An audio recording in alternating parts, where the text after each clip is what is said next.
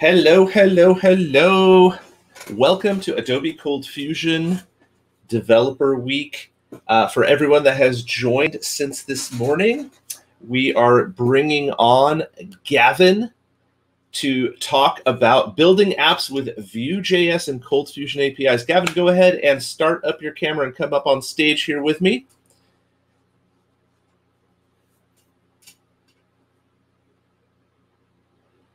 He is loading up. Hope everyone is having a good time. We've had some amazing talks already this morning. There is Gavin. Hi, Gavin. How are you? Doing great. Thanks for having me. I appreciate the invite. Very, very nice. That that don't jump. That fan is scaring me. Like I, I fear for your life. I thought I better do standing mode so I don't get too fiddly in my chair. so, there you go. Yeah, it's a little close though. Just don't stretch. There you go. Well, I think everyone is familiar with Gavin. Um, I am going to go ahead and get you started in your talk mode. So take it away, my friend. Okay, let me share my screen. Make sure I get the right one. There's so many. Oh, this is good. Let's see which one's which. Okay, which one do you see? I see building apps with Vue.js, the GitHub. Okay, perfect. Let me just see if I can drag this over so I can see some chat, etc. Perfect. Okay. Okie dokie. Well, thanks everybody for joining me. Uh, again, uh, I'm Gavin Pickin. I work with Ortus Solutions, and today we're going to be talking about building apps with Vue.js and Cold Fusion APIs. So who am I? For those that don't know, I'm a software consultant for Ortus. I work with ColdBox, CommandBox, BoxBox, Box every single day. Been working with Cold Fusion for 22, 23, I'm not sure. It's too many years to remember. Uh, and I've been working for with JavaScript for just as long. I love learning and I love sharing those lessons learned. Um, so that's why I'm here today. I am from New Zealand. I live in Bakersfield, California, but uh, the accent does sneak out every once in a while. So if you can't understand me, please let me know. Uh, and I'll try and uh, translate. I have to do that for my wife daily. So I do have a loving wife, lots of kids, countless cryptos, but that's enough about me. Uh, you'll see me on Twitter, gpickin, and ortussolutions.com. Okay, you may also see me on the podcast. I'm on the Modernize or Die podcast. We do a CFML news edition every week, and we talk about all the great things going on in the CFML community. So join us for that. And CFCast, uh, I do a lot of video up on CFCast, which is our video training service. So uh, check me out there. We got lots of different things going on there as well. I've started this new thing for our Ortus Patreons just recently, coding with Kiwi and friends, and we've actually been working on this app. So today we're going to be showing you some of the, the API stuff, and we've been working on it there. So we have community members come and help me to build a better app. And we'll also be uh, Into the Box. So uh, Into the Box this year is our uh, conference in Houston. And it's two-track conference with a pre-conference developer week, lots of great content. Got five workshops, including mine, which is going to be a deep dive into the Vue.js Spire mobile app with REST APIs. And you guys can meet me there. And CF Summit, hopefully I'll be speaking there too. Uh, depends if Mark and them invite me back, so hopefully they do a good job here. Um, and then after that conference, we're actually doing a, a two-day workshop, so even a bigger, deeper dive into REST APIs and Vue.js. So you get the picture. I do a lot with this, and so uh, if this session is interesting, maybe you'll find one of these workshops helpful too. I don't know if you guys can hear that or not, but uh, what is this app? So we're going to be working on an app called Dev Feud or Developer Feud. And basically, it's a family feud styled game with developer based questions. So it's uh, Cold Fusion powered ColdBox REST API. And we're going to put Vue.js front end using the Quasar framework so we can deploy to multiple platforms in front of it. So I've always wanted to build a uh, build one like game like this and basically play a game like this maybe at Happy Box. And so I finally built it, and we're going to be doing this and playing this at Into the Box conference. So hopefully uh, some of you will be there and we get to play this game. So can we do all of this in an hour? Short answer, we can't, but uh, we can do a lot in that hour. So I can give you a great overview of everything, show you some demos, show you some code, point you at some other presentations, and and build up to this, as well as um, the code itself. So we'll give you that code afterwards. There'll be repos of all the code in it, and um, you know invite you to those deep dive workshops. You can actually find out a little bit more about it and how to get into that. So I think it's a, a, a great, you know, great starting point, and we'll go from there. So the technology. So we're going to be looking at ColdFusion for the API, and we're going to be looking at Vue.js for the application side of it for the front end. So I shouldn't have to explain too much about why ColdFusion, um, but we love ColdFusion. We're experienced in ColdFusion. We're productive in ColdFusion. We know the pros and cons of ColdFusion. We know those little tweaks and twerks we have to do. We know how to handle security in ColdFusion. We know how to support ColdFusion. We know how to deploy ColdFusion. So it's the right tool for our team at this time. And a lot of people say the right tool for the job, but if you don't take into consideration your team, your experience, your infrastructure, uh, and all your other experiences there, it's not going to be that, that great for you. So really uh, a big thing with your language selection is you have to do what's best for your team. And ColdFusion is great. We do a lot of great things there. Okay, so why Vue.js? Um, it's the closest of all the JavaScript libraries, I believe, to ColdFusion. The tag syntax aligns with old school ColdFusion. And for me, uh, that just made it was a really smooth transition, really simple. Uh, the tag syntax aligns with old school ColdFusion. Like I said, it's reactive. It's got really nice tooling, and I don't have to write HTML inside of JavaScript inside of HTML inside of JavaScript, which for me, uh, just yeah. Anyway, enough about that. But for me, uh, like I said, it was fun, easy to learn, and I really like Vue.js. And uh, actually, Alpine is like Vue.js Lite, which is really great to sprinkle around as well. And so that's been good. Hey, Gavin, sorry to interrupt. Um, I think some people are, are wondering if uh, if you're supposed to be sharing slides right now or the uh, or your GitHub repo. Ah, uh, that's yeah, I have slides. So let me stop sharing that. Sorry, that's what. No worries. no ah. worries. I know we need more.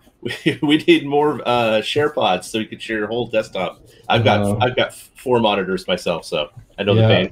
And the thing is, the Connect didn't show me the right one, so let me go back. Sorry, let me try. So let's see which screen. Third monitor. Now, what do you see? I see a Windows background. That's it. Okay, that's the wrong one too. Wish I had screen numbers pop up. Sorry, everybody. Oh.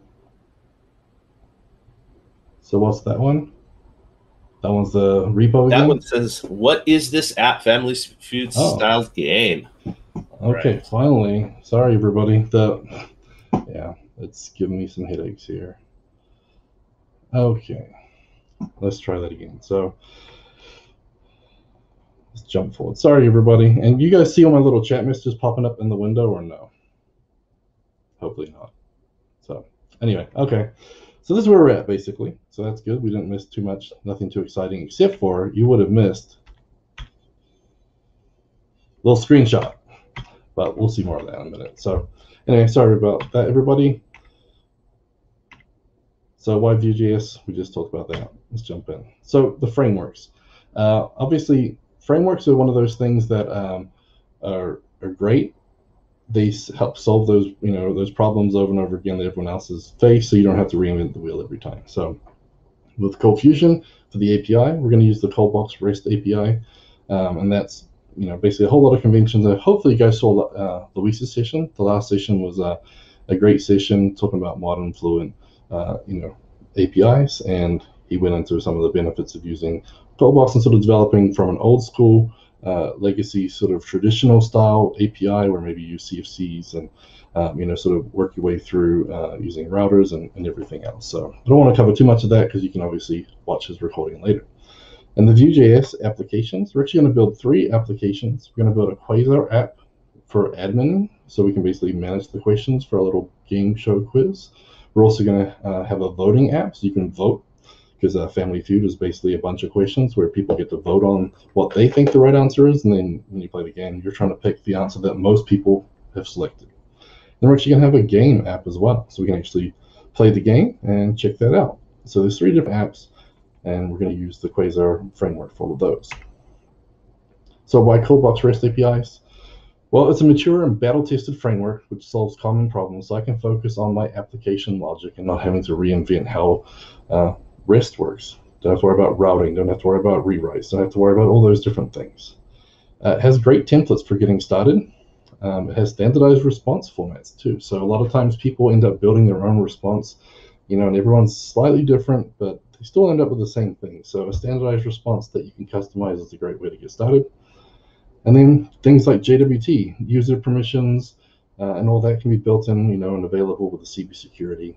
Uh, and of course, it's modular, so I can use my own or third-party libraries to make it bigger and better. And it encourages and implements best practices, and it's flexible, powerful tooling. So again, you can customize things. And again, Luis's session was great for showing a lot of these things. So why Quasar? Well, one of the big things I like about it is one code base for all. So it outputs to a great number of platforms. So, uh, you know, I had an app for a client and I seriously changed the format that I was producing it for four different times. I think they wanted to start uh, creating a Windows app.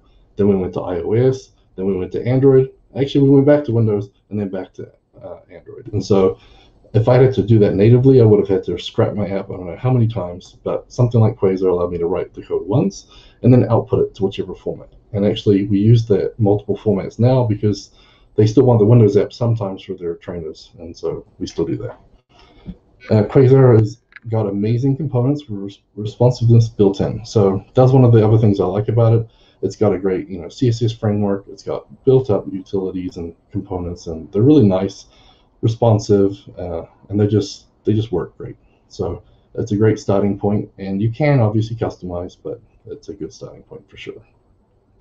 It incorporates best web dev practices out of the box, so uh, it just encourages you to use the right things uh, and makes your life easier.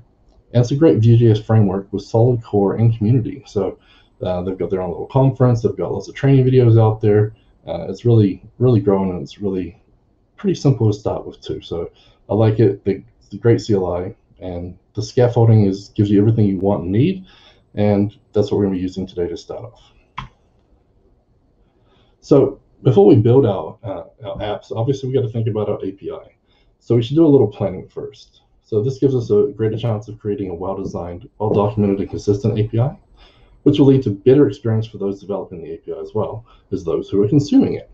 Obviously, usually you're consuming for yourselves, but um, sometimes you want to make that more available.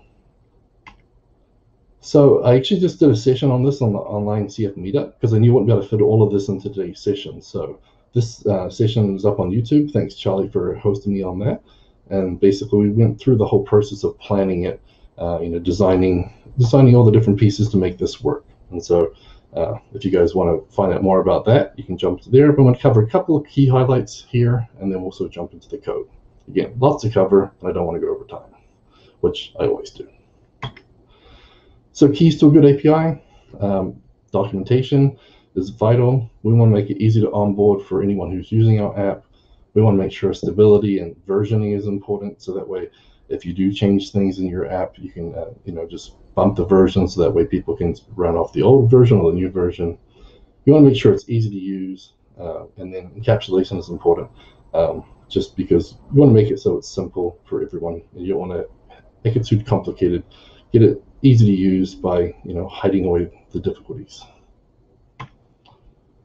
So user stories are kind of important, and again, more in that planning session. But you know, basically, we want to use something like this where, as a person, I want to need, so that goal scenario, given precondition when actions and inputs, then results. So when we're using this to plan our, uh, our app out, we can do something like this. So as an admin, I want to get a list of questions so that I can display a list of questions to manage.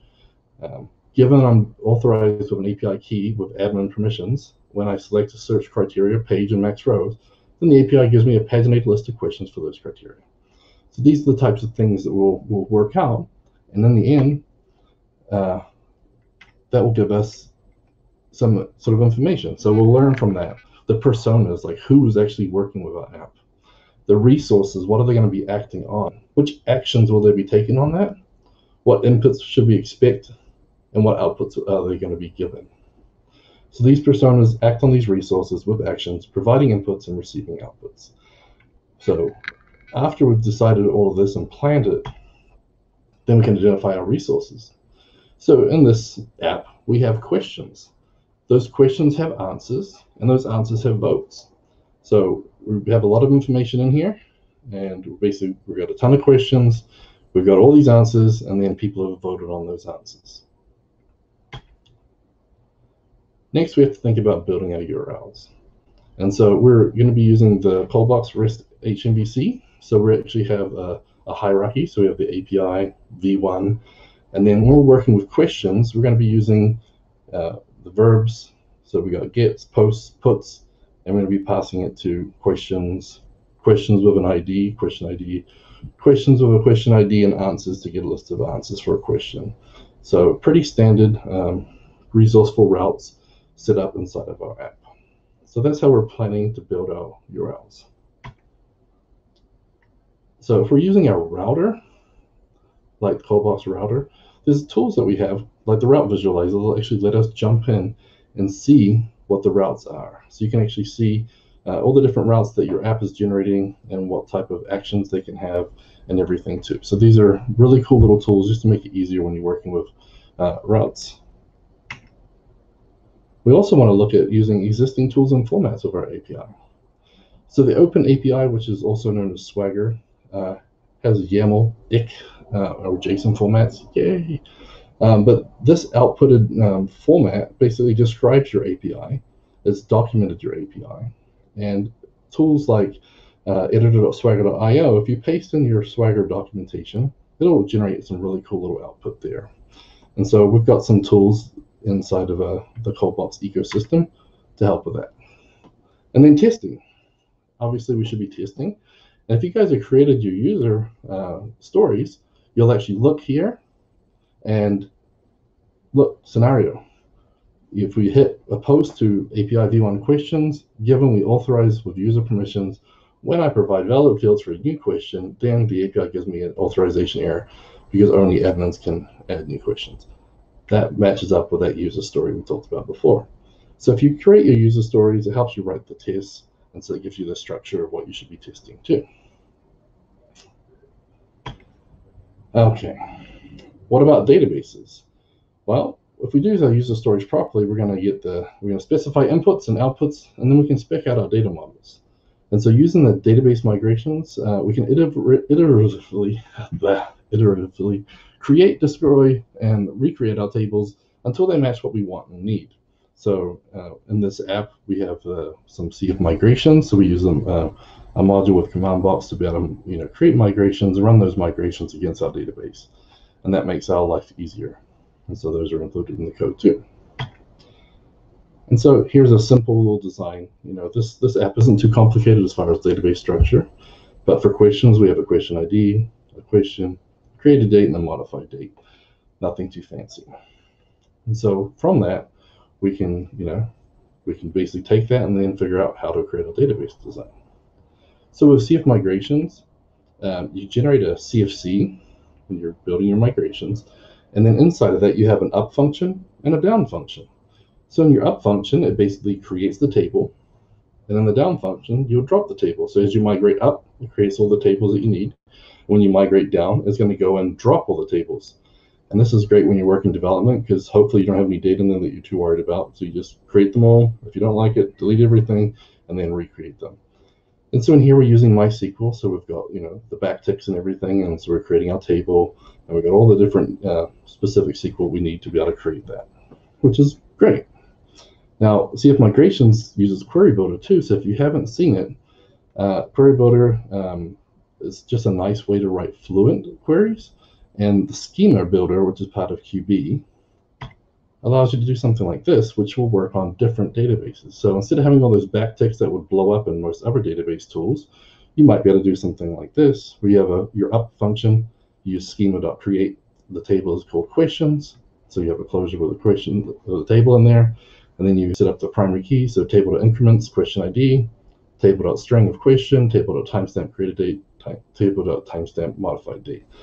And so now we're basically setting up our, you know, setting up our database migrations And then we can run them to create our database tables. And now when you pass this app to someone else who needs to run it, they can run their migrations. And if they've configured their app to actually talk to the right database, it'll figure out the format for you. And then you can just uh, update that as needed. So what is in my API? Obviously, we're jumping through this pretty quickly, but um, in the API, we're using ColdBox. We got TestBox in there.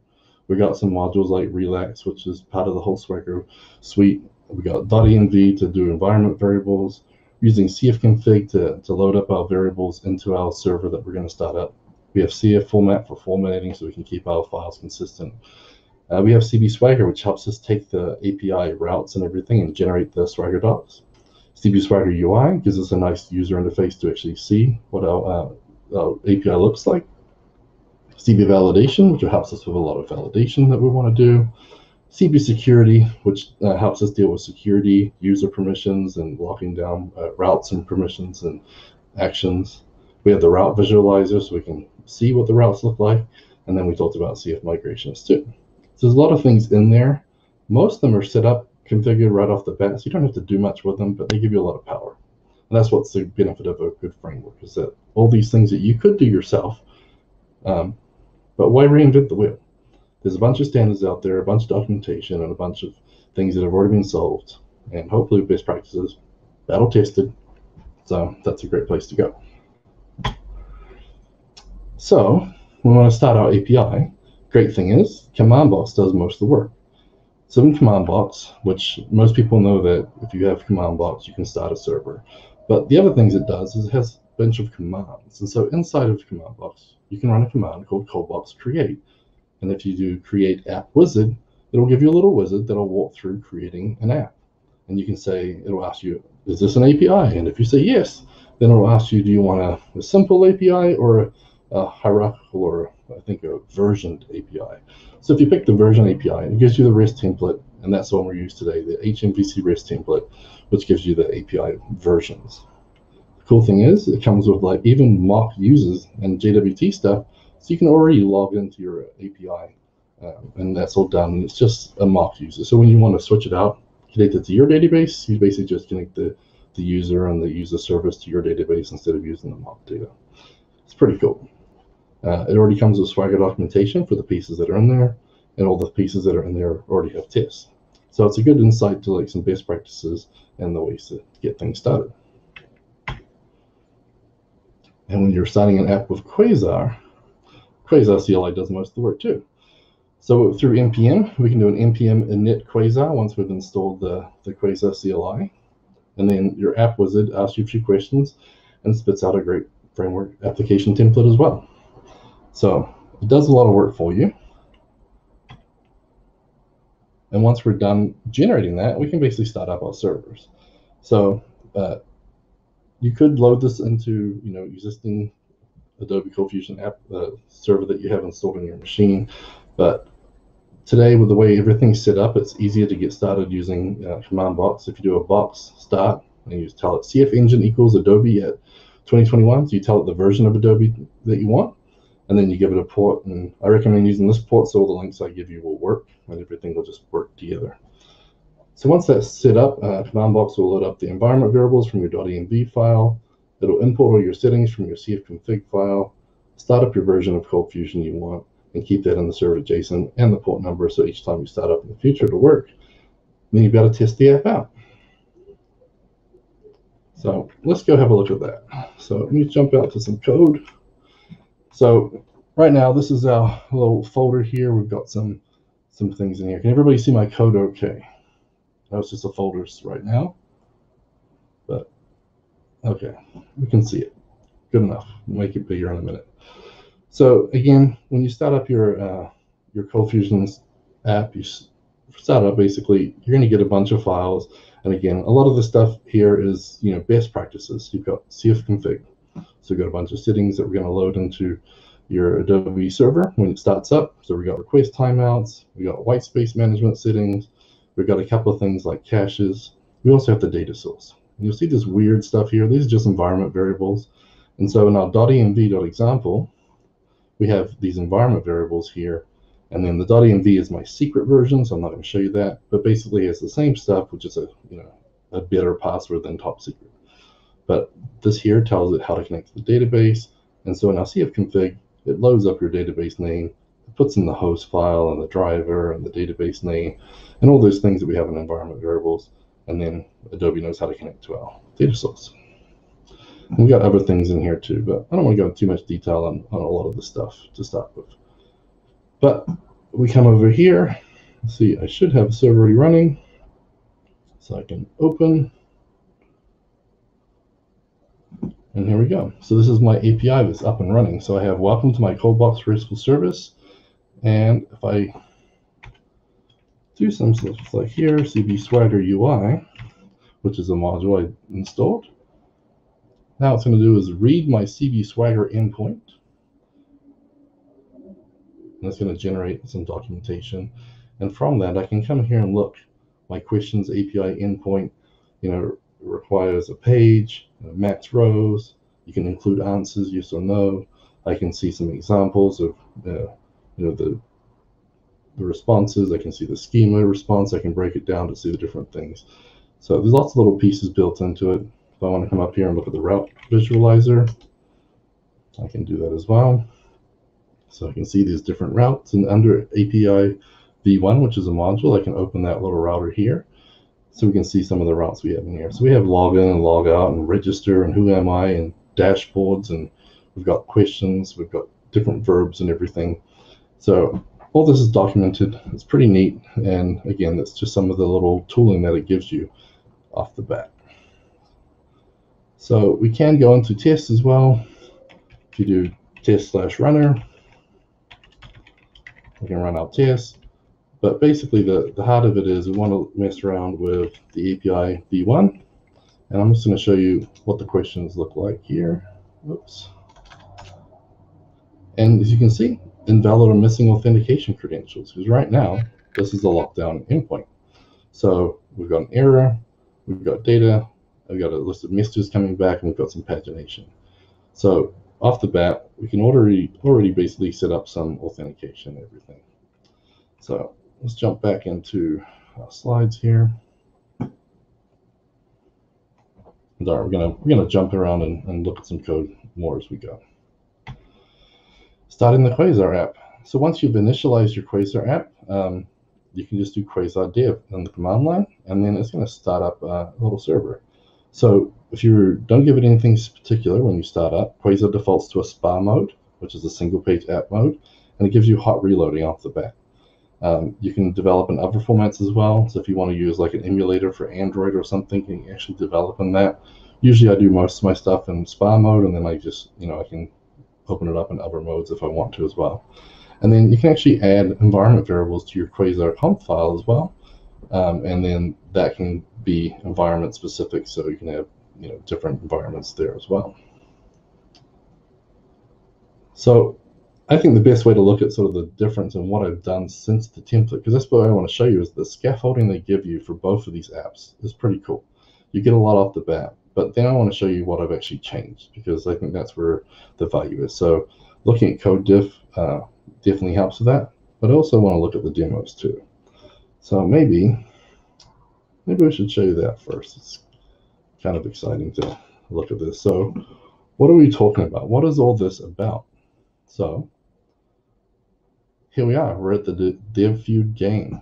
We basically have a little game here it's all about Dev Feud. So if I come in here and type in my name, I'm going to start my game. Now, this game uses survey questions from the TeraTech uh, survey, which is the State of the CF Union survey. If you haven't taken the CF survey, um, you can take it right here, the link's here, and you can also view the results here as well. And so every year, TeraTech runs a survey trying to ask you different questions about your, your life as a developer with Cold Fusion. And we've taken some of the questions and put in here. And so if I start the game, it's going to generate this little user interface for us and it'll say which MVC framework do you use. Now remember, I could pick the one I use or I could pick the one I think was most, uh, basically, you know, the most surveyed. So I'm just use ColdBox and I'll see where it's at on the list. When I pick it, it tells me how many points I scored. It shows the different frameworks. It shows, you know, if something's homegrown or not, etc. And you can see that you've got, you know, the answer right there. We got points have upgraded. We go next. Which version of Adobe Cold Fusion are you running? So we'll say Enterprise. I got 100 points because there's more people using Enterprise than Standard from the survey. Uh, which browsers or client platforms do you support in your apps? Hmm. I think Chrome was probably right up there. Chrome was the number one on that. So I got some more points. Which databases do you use? So most of the time I use MySQL or I use MS SQL. So SQL Server, top score. One more question. So which JavaScript libraries do you use? Have some old ones in here. So today we're talking about Vue, so I've got to pick Vue, even though it might not be the best one. Can anyone tell me what they think the most popular JavaScript framework is? If you guys uh, get the right answer, you can actually win that American Express gift card. So lots of jQueries in the chat there, some React, jQueries. What do you guys think? So give everyone a bit of time. Not sure if we've actually had all the possible answers. So let's see. Let's try. So I think Vue.js. Actually, I don't think it, but that's what I use, so I'm going to vote for it anyway.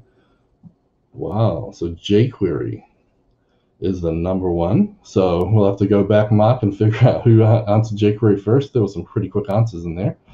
Um, but yeah, so the game over. I scored 400 points. You get 100 points max for the first, uh, the top score for each one. So we've got uh, 400 out of 500. Not too bad. Um, but again, you know, it auto sorts the questions. It highlights the one you picked, and then if you want to start a new game, you put a name in and, and go again. So this is the, the app here that builds the game. We also have an admin. So if I come over here and log in, I can use my fancy secret, don't look at my password, um, log in. I can log in here I'll go a little app. So let me cancel these pop-ups. I'm sorry, everybody. So you can see my dashboard shows me I've got 10 questions in the system right now. I've got 76 different possible answers and like 6,800 votes. So it's pretty cool. Uh, I've just got a couple options in here. You know, I can hide and show this menu, but I can also come in here and look at manage questions. So uh, this is one of the Quasar components I love.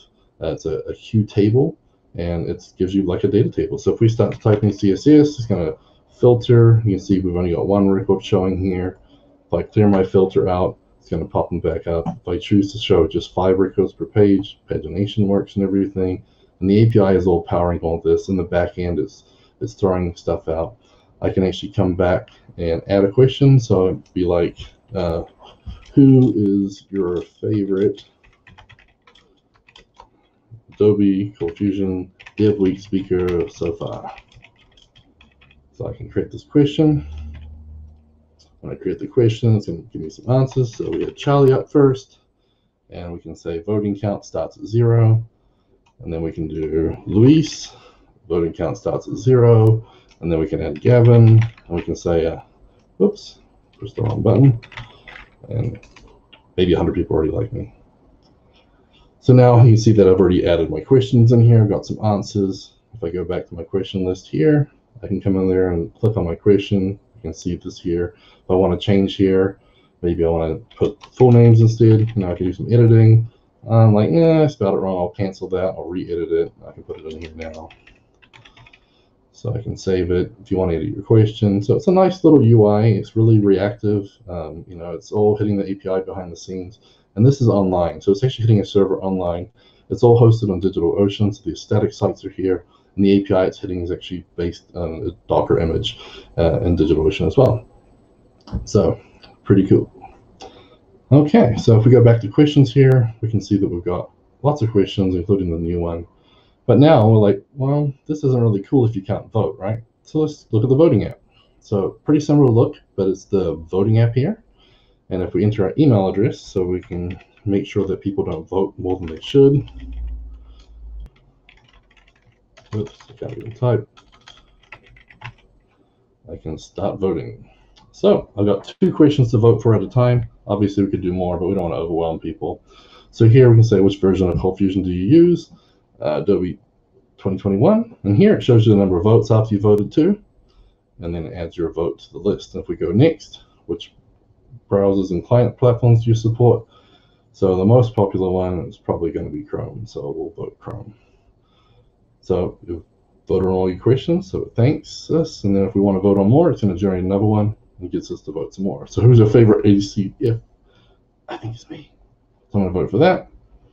Which frameworks to use? I use ColdBox. And again, vote more questions. So little tool, doing all the work. Um, away we go. Okay, so those are the three apps we have built. And obviously we got the API behind it. We've looked a little bit about the API. So we've got some security built in. If we go to different endpoints, we do different things. So let's look at the code a little bit. Okay, so in our modular app, we have modules here. And then we have our core, which is where I shove my services. So I've got a, a an answer entity, a question entity, and a vote entity. And I've built these on Quick. So it's got some cool stuff in here. Uh, and again, we're not going to go through too much because there's a lot to it. But basically, we have a question. Question has answers. Questions have votes for their answer. So we have uh, question has many answers. Questions have many um, votes through answers. And then we have little functions here for deleting votes too. Uh, Quick does a lot of the work for us, so we don't have to write a lot of SQL or queries, but we can as well if we want to. And we have things like votes. Votes belong to one answer. An answer has many votes, and a question has uh, sorry, an answer has one question. So there's our relationships mapped in here too. So if we look up here though, we look at our API, we look into our version one, we can go to handlers, we can see some of the handlers we're working with. If we want to look at our routes, we go into the router file, and you can see some of the routes we built here. So that dashboard we looked at before is a dashboard endpoint here, and it goes to the dashboards handler and the index action.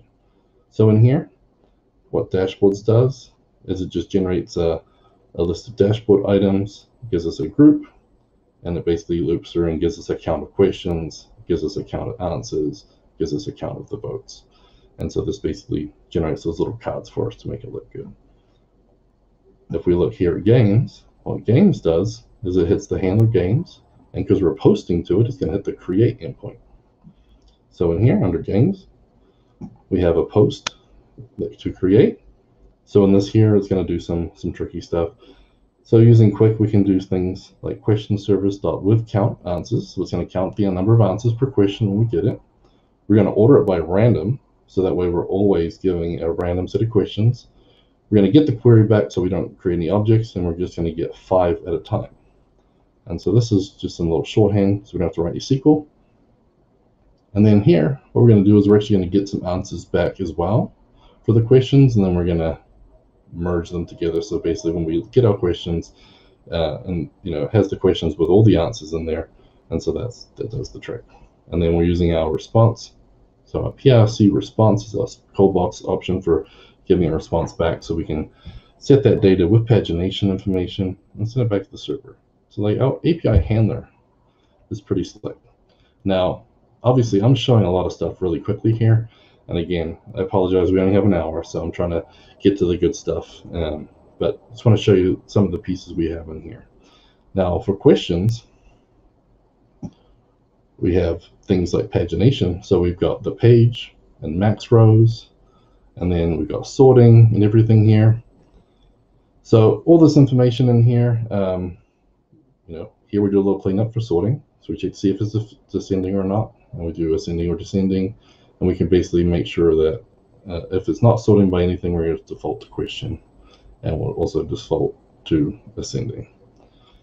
And Luis's last uh, presentation, you would have seen some things where he was doing validate or fail. And this is my little shortcut for it here. So we can clean up our RC scope, we can validate our content. And then we can do a little search here. So when we're looking at the question service, we want a list of questions. We can say, you know, when the question is not, not empty, then we're going to do a where like on the question with a count, order by, retrieve query, and then paginate it. So all this stuff just makes our life easier. Because imagine the SQL I have to write here, right? Um, if I was going to write all this as a SQL uh, from scratch without any help, that'd be a lot of work. So these little tools, they all make our life easier. Okay, so let's look at that admin app real quick here. So behind the scenes, when we go to manage questions and we pull up this here, behind the scenes, what it's doing it's hitting that questions endpoint. So why is this not working? What makes this different? Why does it have a security credential issue? So my questions handler here, I didn't have something here saying uh, if the JWT is valid, you know, I don't have any of this code here. So what's doing this, uh, the security here? So CB security is set up. That's a module. And so we have some setup in here in our ColdBox app, and it comes with that automatically. And what it does is it requires a little bit of work. So CB security, it requires a user object. So here's a simple user object that we give you and has a little bit of mementification. So we never include the password when we ask for a user. We have some constraints on what makes a good user. And this is just a sort of a cookie cutter template for you. And there's a couple little permissions in here. Like has permissions is something that CB security needs to see if someone has permission to do something or not. And so this is the little sample that comes with the REST app. And under user service, when you actually ask for user, there's this little mock users here and so basically we create this little mock user and that way you don't have to even connect to the database to try out this template. This template is going to have a user that you can use and we can fire it up. Okay, so if we come over here and we look at CB Swagger,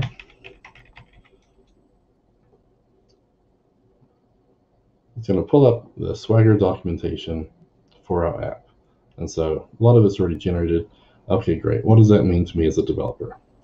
What it means is if you use Postman, you could import basically new workspace. You can import that, that Swagger doc, that's going to generate this. So it's going to give you all the tools you need to be able to uh, you know, log in a user. So here's the login user. You can put in your email and password. You can actually log in, and it's going to spit out some JWT information. And then you can actually make that so when you're going to get a list of questions, here, we can actually include that as part of our authentication. So we can, you know, come in here and, you know, add the right authentication we need. So right now the authentication is here already. So if we try to send this,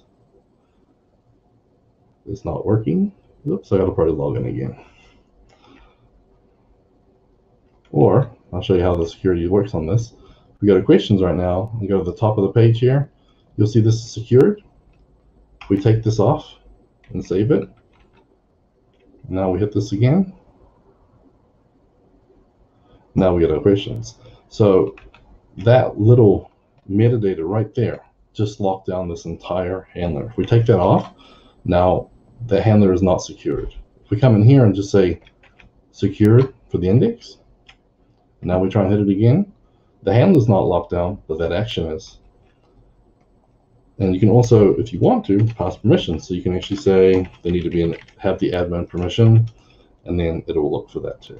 So there's a lot of different pieces to CB security. This is just a taste of it, but basically just installing it here, you can just throw in something like secured, and now you have to have a valid JWT token. So you might think, well, how does it know? What is it doing? Well, all our handlers are extending our base handler in this case, and this base handler is my base handler I made. So in this base handler here, uh, I have an extending of the ColdBox one. So the ColdBox REST handler gives you tons of functionality off the bat. I added, added a couple little things here, like this VOF, which is basically a, a little helper to give my validate or fail. Um, we got a couple little things like pagination constraints, so I can just use that in other places. But basically, it just it's all the ColdBox REST handler, and so that has all the power. So if we go look at that real quick, I'm going to get some Vue code here real soon. But in the REST handler here, we have you know allowed methods. We have the around handler, which does all the work. So this keeps track of everything. And then the cool thing here is anything you do in your in your API response, if it throws an error, it'll catch it and handle it a certain way. So no more boilerplate. And Luis showed this too, where if you basically have invalid credentials, it's going to throw this error and then it's going to catch it this way. And so when it catches it, it looks the same every time. Uh, if you have uh, a validation exception, it can, if you throw a validation exception, it'll catch it. You don't have to do the all the response and how to respond to a validation exception. This here will show you how to do it. So it'll actually uh, get the event, it'll set the error to true, it'll set the data if you have any data in there, it'll add a validation method, it'll set the status code the right way, it'll set the status checks, it does all that for you. So all the stuff that you could do yourself, it's going to do for you. Okay, lots and lots and lots of stuff in here, right? So that's all the ColdFusion stuff. And again, we've done a few sessions on ColdBox API. Luis's session last time did a lot of great things too. But okay, was, sorry, there's questions popping up here. I'm trying to keep up with them, but this flies past here. Oh, sorry. Yeah, I of the console. I'll just pull it down for right now. Sorry, everybody.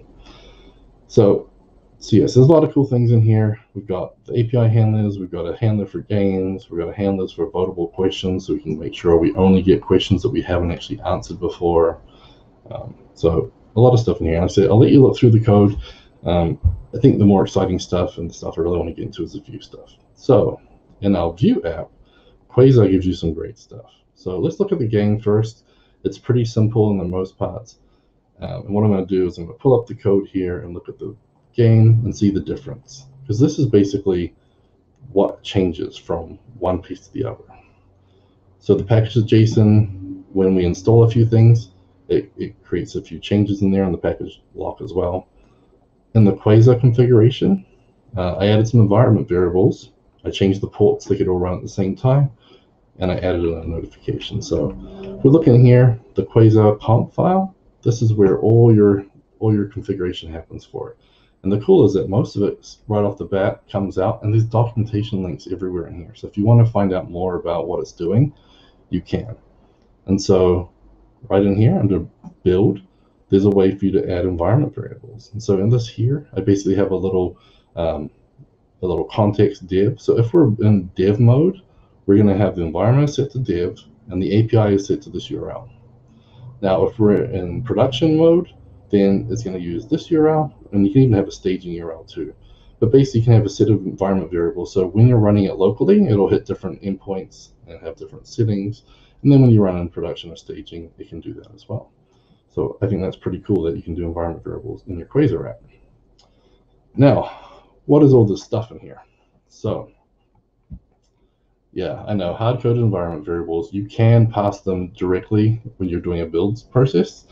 Uh, obviously, these are just, uh, there's no passwords or anything in here, but you can actually have it read and basically it pulls up as like process.env. whatever. So it's just a, little wrapper to make it easier for those little comments about environment variables. Okay, so again, Quasar, the CLI, when you build it, it gives you a ton of stuff. So what are these folders? So we got a couple of hidden things here, no, not a big deal. This distribution folder, whenever you build something from this app, it's going to throw it here. So the Quasar game, we've already built an Electron app, and we have a SPA app. So if I want to upload my app, I basically just upload the SPA folder to my web server, which is what I did without play the game, and it outputs an index HTML. It's got a family tree background. It's got some style sheets and fonts and JavaScript and whatever. That is the output. If I want to create an Electron app from this, which you can, it'll spit out my Electron app. So I've got unpackaged stuff and I've got the, the game itself. And so if I want to play this game locally, let me pull up my folder here.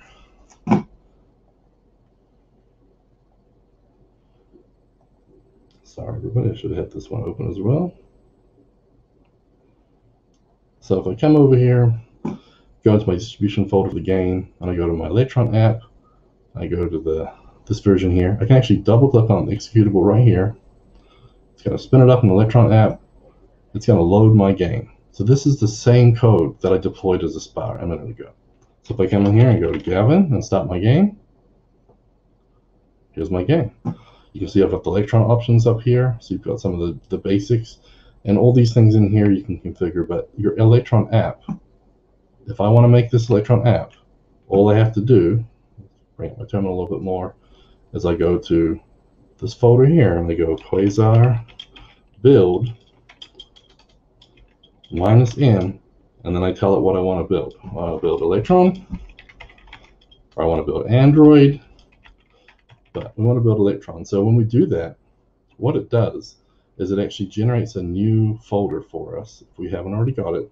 And in this folder, this is where you just, these are the differences. And so the cool thing about Quasar is your source folder right here, this is your app. So this is where we're going to work most of the time. But this little source, if you each different type you build, it can give you options. So in here, you can tweak stuff to make your app a little different for Electron versus something else. Okay, so let me shrink this down again and go back. So that's our distribution folder. Okay, that's our outputs. Our node modules, don't ever click on that. It's huge, it's unsightly, but it's okay because when you build it, uh, you just output the pieces you need and all the rest of it dies and hides. Um, the cool thing is, when you gitignore that it creates, it ignores things like the node modules folder and it ignores all these generated folders and everything else. And that comes out of the bat. You don't have to like install it and then figure out what you want to include and exclude in your repo. It does it for you, which is a huge win. I love it. And so then you've got some folders. You've got a public folder in here, so you can do some public, uh, you know, assets or whatnot. And so that is used by your source folder.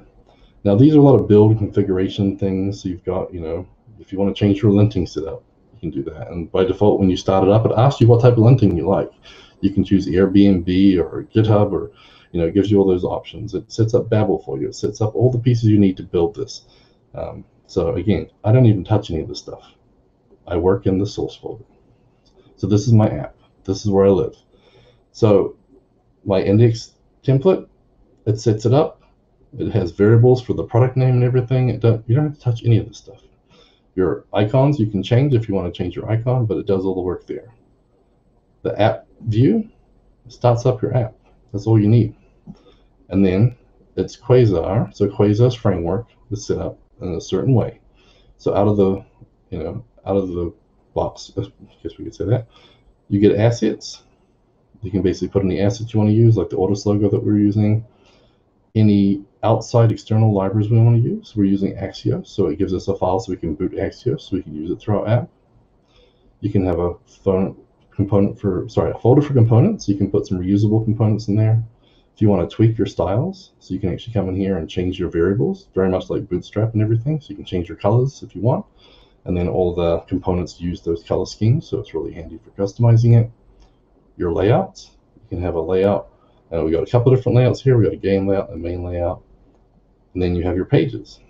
And so we've got a 404, we've got an index, we've got a game. So really simple, just, you know, a couple of pages in here. And then we have our router. And again, this just basically sets it up so we can use it. We even have some permissions uh, in, in the admin app to like check when you're changing routes to make sure you have permission to access it. But in here, the routes, we have the forward slash. It takes you to the index page and we use the main layout. When you hit slash game, use the game layout and use the game view. That's it. That's all you need to know to get your route set up. Pretty straightforward. Copy paste even, and you can get some children set up. So again, it's it's a framework, but it's not hard to get up and running. If you don't even have a path, it can give you a four to four page. And then inside the store. If you guys have used uh, Vuex before, um, this is basically your Vuex store. And so in here, you've got your index, which allows you to import mo basically modules. So this one here doesn't even use a Vuex store. Um, the admin does a little bit more, so we're using that. So this one here, we're not even using. So basically, on our pages, this is it. So if we go and look at the game, my code. Go up here to game. I'm looking at this here. This everything here. This is basically our page. So we've got a a div, another div, we got a label, we got a Q input. So this is a quasar component for input. It's going to map the name field. Well, if you push enter, it's going to start the game. If you click the button down here, start the game, it'll start the game. And all this does here is it pushes you to a new path and passes that information along. And again, this is I'm hoping that this is a great starting point for you guys to get into Vue if you haven't done it. Now the game view, there's a lot more code in here. You've got if statements here. So very ColdFusion if, if you're displaying it. Um, sorry, if you're not displaying it, show loading questions. If we are displaying it, then we're going to show all the stuff in these divs. And so we've got the name of the person, we've got the current score, um, a lot of different things in here. And for those asking questions, we're actually in Vue, we're in Vue two for this, but you can use Vue three as well with Quasar, so it, you can get to choose. Uh, you can even use TypeScript now as well if you guys prefer TypeScript. Uh, it's up to you. So there's a lot of different pieces in here. Um, and again, Vue allows you to componentize stuff as well. I've tried to keep it in the page for the most part, just so you can see it. But basically, we built this little app. And again, if we want to run it locally so we could see some of that, we're going to just do Quasar. Oops, I'll do that. I'm going to type over here. Quasar dev. And what it's going to do is it's going to roll through, it's going to spit out a SPA mode for us, and it's going to set up all the hot reloading and everything for us. So we can actually tweak this a little bit and see what happens. So this app is on the online here, so we're to have a new one pop up in a minute, and that's going to give us the access to do that. And again, I say Quasar, it's just a framework. It's a place where you put files. It's organization. It's a starting point and it just gives you the ability with it, those configuration options to be able to generate those different types. And that's what I, I think is pretty cool. So here it is, it's spinning up on 8081.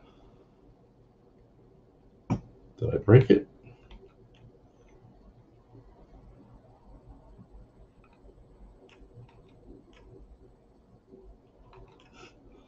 That would be my luck, right?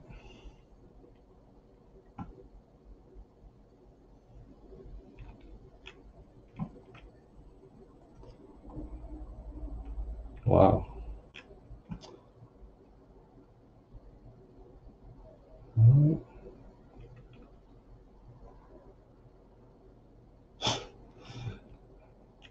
Yep, always something goes wrong.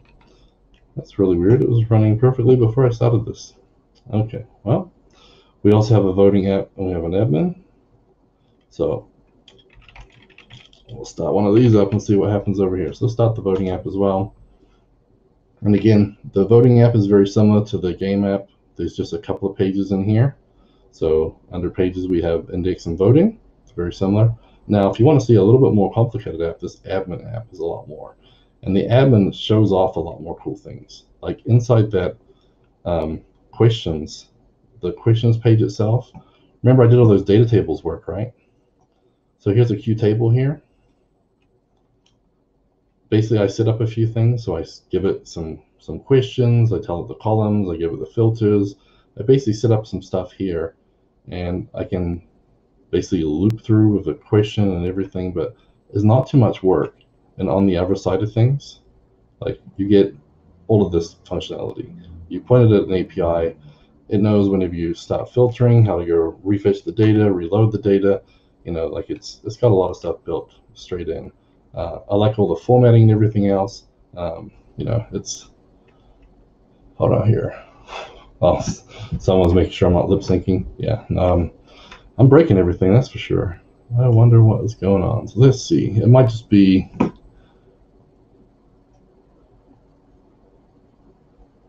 It's just straight up not returning. I wonder if I actually have another app running on the same port and I'm just freaking it out. I might not have killed it properly before. That's why we have lots of lots of stuff here. So let me jump back. I'm going to jump back into the slides here and we'll we'll go through it a bit more. But oh actually the diff. So the diff stuff here, again, you know, I, I changed a few things in the Axios. And so in the Axios file here, you can actually see, uh, you know, we can set up the base URL from the environment variables. Uh, if we look at the admin app, though, we look at the Axios, I actually do some work here where I get the JWT. So I'm actually storing the JWT when you log in inside the app state. So it's actually storing it kind of like in a session. And then I can actually pass in that different information too. So in that app, you actually you have two different Axios connections. You got an Axios instance and a login instance, and that instance automatically has a JWT. So there's lots of different pieces. Uh, and so the, I really want to give you guys the code to be able to look through because again, a lot to cover in one hour. Um, so, okay.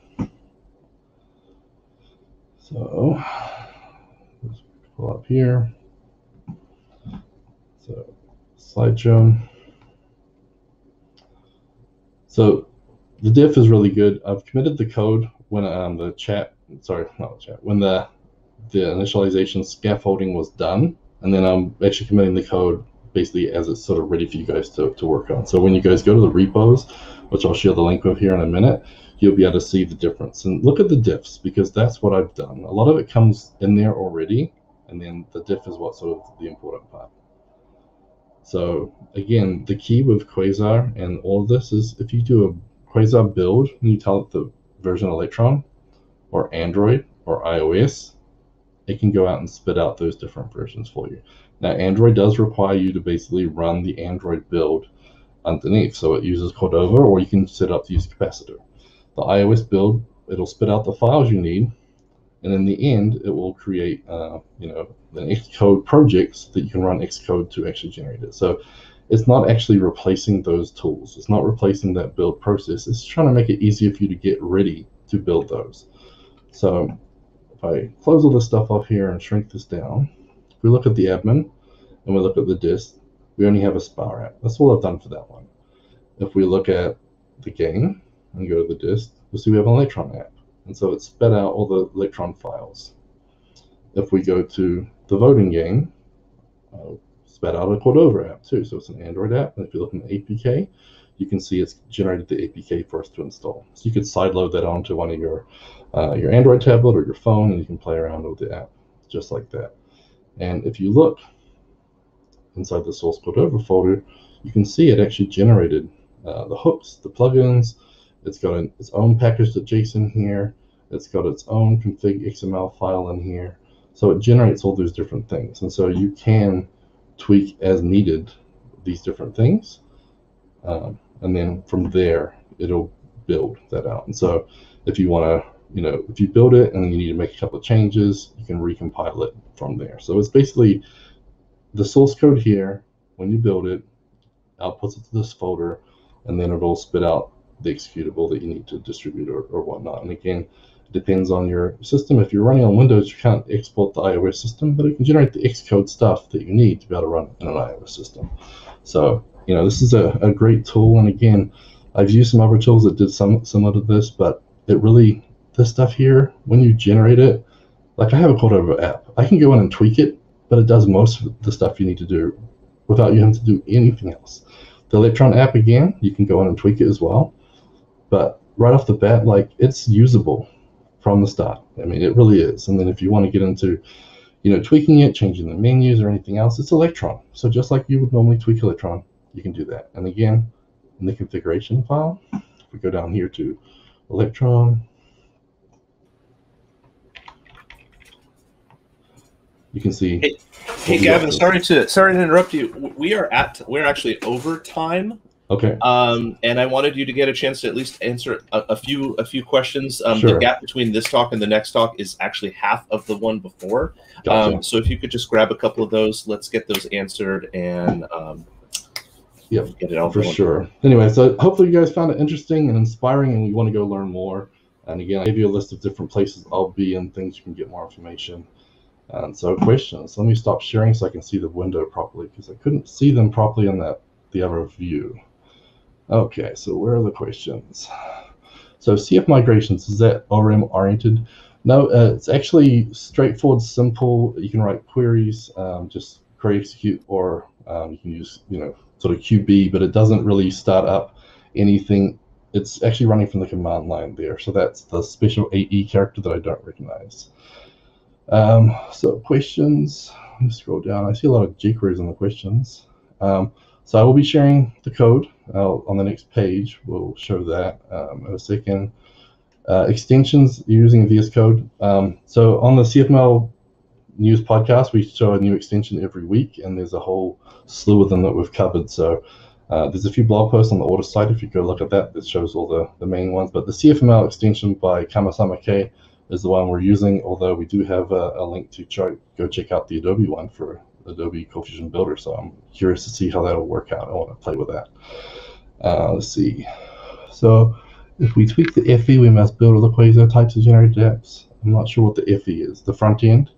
Um, yeah, if you change the front end, you'll have to regenerate them and deploy them. Yeah, but you can just run a process that generates them all and then redeploys if you have build structures. Um, and what is the address, 000 address versus localhost? I think the 000 in the configuration file that you saw just basically says it'll bind to anything that hits that machine. Um, so let me share my screen again real quick. I think it was screen one. So let me do that one and we'll have some links here for learning more. So yeah, the repo itself, uh, 2022 ACF DF DW presentation. It links to the other four repos. Uh, and I just have to push my code now that I've stopped tweaking it. Um, so it'll have the, the new code up there shortly. Um, and these are some of the places you can go find out more. Um, but again, we're going to be at Into the Box doing a workshop where we get way more time to cover this stuff. And then CF Summit, after CF Summit, we're doing a workshop where we're diving into the same type of stuff. So, um, you know, I think there's a lot of great stuff. Um, Mark, if you can put that link in the chat, or I'll, I think I sent it to you on Slack, or I'll put it in there. And then, yeah, I'm on Twitter. Hit me up, and I'll try and give you guys some good answers. But Quasar is great, Vue.js is great, and then obviously we can build the stuff with ColdFusion APIs, and there's great ways to do it.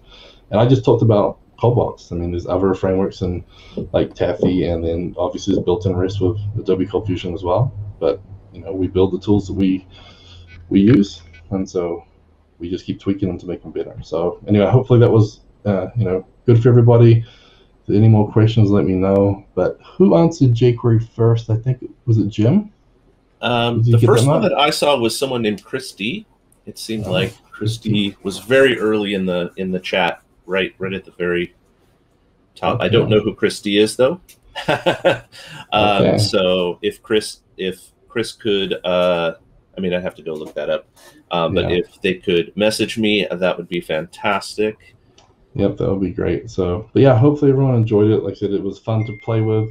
Um, I'm going to be adding some more descriptions to that that repo, so you get the links. You should go look online too, so you guys can play the game and vote for the questions. And then, uh, yeah, hopefully you guys will spin it up locally as well and try it out and you know get familiar with some of the things we're doing in it and go from there. Fantastic. So you can see the, the, the, link to GitHub here on the thank you page is the link that you had posted earlier. So folks that are interested in pulling down those repos, doing some uh, doing some looking through there can click on that. Um, as always, uh, if folks could make sure to please, please, please give us some feedback. The speakers find this information very valuable uh, to help them hone their craft. I want to thank Gavin so very much for sharing all of that incredible information with us. Um, I'm super excited to, to, to go back through on the recording later and pick it apart. I know, I, know I, I, uh, jammed so much into the hour, but I'm, i just hope that touched on enough to get people excited to go look themselves because you, know, you can't do all this in an hour. But hopefully, I'm, I inspired you to go look. I'm I'm I'm super excited. This I, I, love Cordova. I love all that that that that type of stuff. So um, I will definitely be in there looking at things myself as well. Um, coming up next in just about 25, 24, yikes, minutes, Learn DevOps, CI CD, and Pipelines with ColdFusion 2021 by Brian Sappey. So uh, hopefully everyone will stick around for that. Uh, thank you again, Gavin. And we're just going to leave this poll up for a little bit and then get back to the lobby. Awesome. Thank you so much.